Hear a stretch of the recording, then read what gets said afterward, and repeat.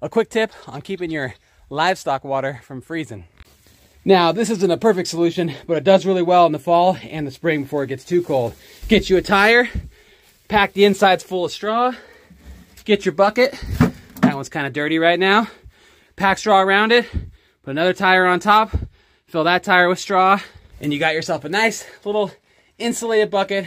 It does well, I'd say down to about 25, 20 degrees, and then, well, it freezes.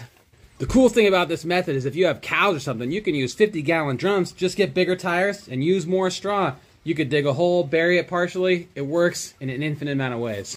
But when you're off grid, you can't really use those electric water heaters. They just take too much power, especially in the winter. So this is the best solution I've come up with. If you've got a better one, let me know.